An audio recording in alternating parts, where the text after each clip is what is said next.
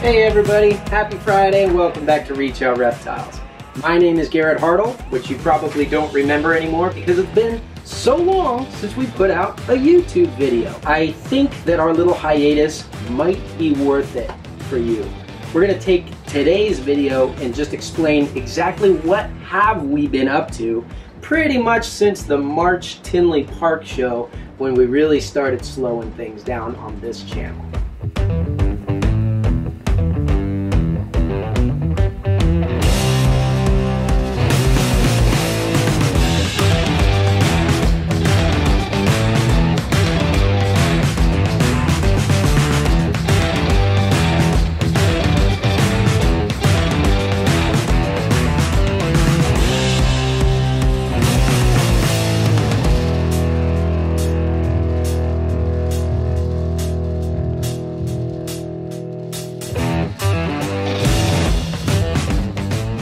So for those of you that I actually got to see back in the last Tinley Park show, you may or may not have known that I actually fought through that weekend with pneumonia. It seems like there's always some kind of major health problem that I have right around Tinley Park. They say that uh, health problems a lot of times are stress related. I wonder if there's some kind of correlation there. Anyway, I had a really good time at that show. I loved our location in the corner. Uh, the booth was looking good. We actually tore it down again and rebuilt it. I called it Booth 3.0. And some of the cool things that were added, uh, number one, was that we had a lot more adult and subadult animals on display.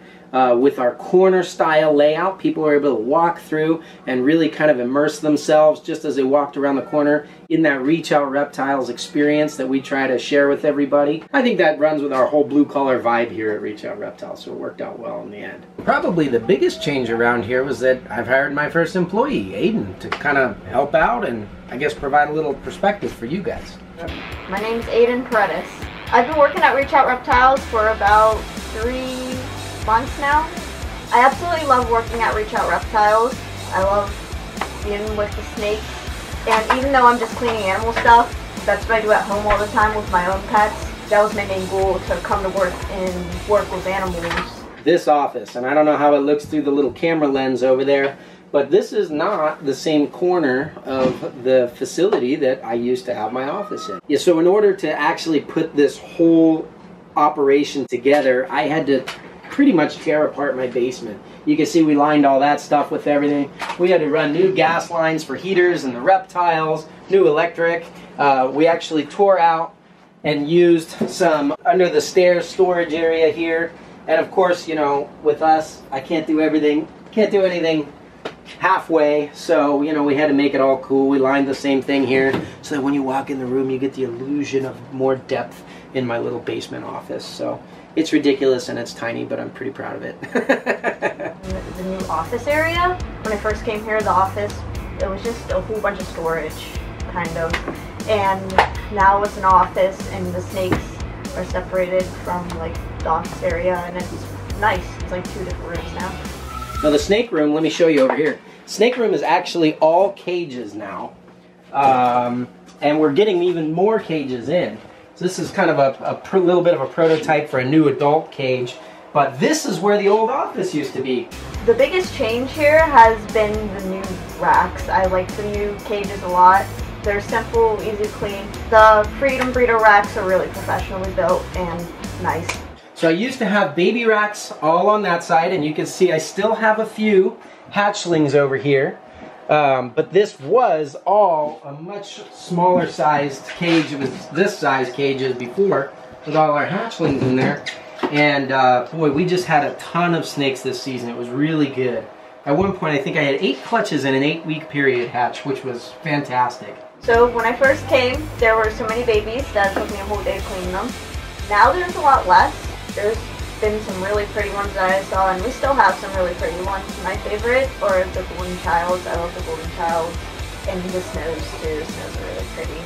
We just had Platinum Marbles, and those are really pretty.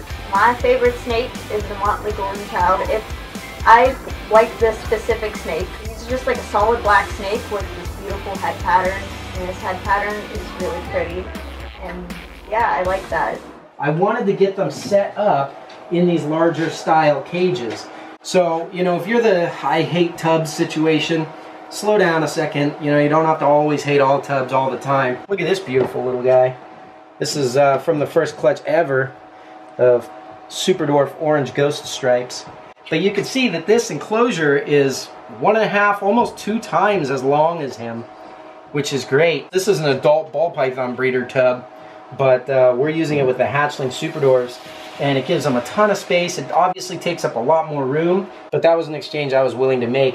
So that's really fun. But this is where the office used to be, and you can see now it's this whole wall of Freedom Breeder cages.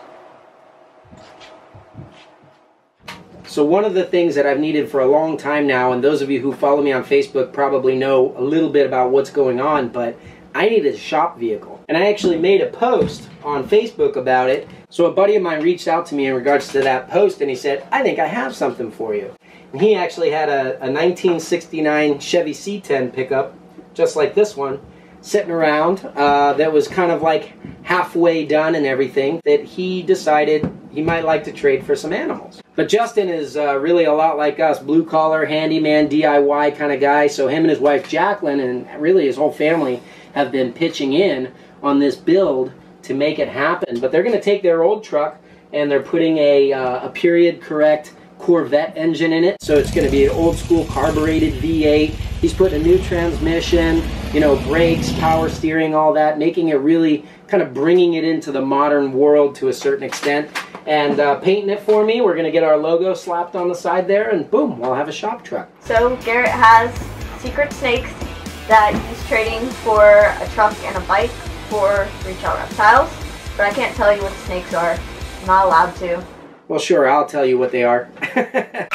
so these snakes are kind of a gamble. They're snakes I should probably hold back, but basically when these snakes hatched, they came out very different. And being a retic guy myself, you know, I kind of discount different things as, you know, standard anomalies or just variations of a normal.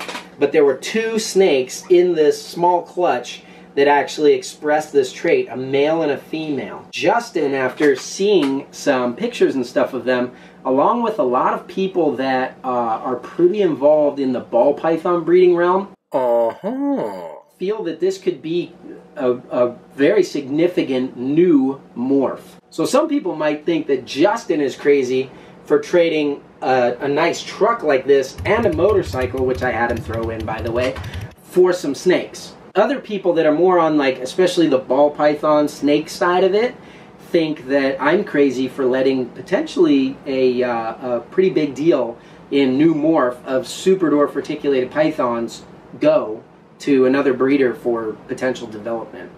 It's hard to tell who's crazier because they could be just nothing, but they could also have like a special morph actually it's a it's a pretty exciting trade so if you guys want to follow along on the progress of that build and and just what on earth kind of animals would make it worth somebody to trade their you know kind of beloved hot rod in for some snakes go ahead and give him a follow. It's family jewels on youtube. The link is in the description below. Garrett's doing a podcast now. Well that's cool. I don't listen to podcasts. It's probably exciting for some of our viewers. Yeah, so another buddy of mine, Brian Cusco, I'm sure a lot of you guys know him. If you actually go back to his March Tinley kind of vlog style videos, you will see the birth of a concept. We're very different people individually, Brian and I, and we come from opposite ends of the country, and we have a lot of different views on life in general. But the one thing, and this is true of everybody in the reptile industry, the one thing that ties us together is our interest, our love, and our passion for reptiles. So I thought it would be really cool to kind of kick loose with him and bat around some different ideas. This is going to be a couple of reptile guys having a what's pertinent to our lives sort of podcast, what's going on in the industry, addressing some of those issues, and just cutting loose. Hopefully, you guys will enjoy that. We're going to start out doing that once a month, so stay tuned for information on that. So I just got back from Carpet Fest Southwest. Now I'm turning around and heading back out to the Pomona Reptile Super Show. If you guys are heading out to the Pomona Super Show this weekend, look for me in the Reach Out Reptile shirt make sure you stop by and say hello, shake hands, let me know who you are, and uh, what you love about what's going on with the Super Dwarfs these days. Let's talk a little shop. Be sure to subscribe, like, and share. You guys have a great weekend. We'll catch you next time.